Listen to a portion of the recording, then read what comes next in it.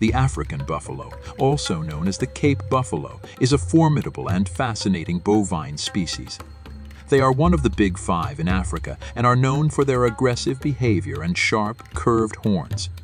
African buffaloes live in large herds, providing safety in numbers against predators. Interestingly, they have a symbiotic relationship with oxpecker birds, which feed on ticks and other parasites on their backs.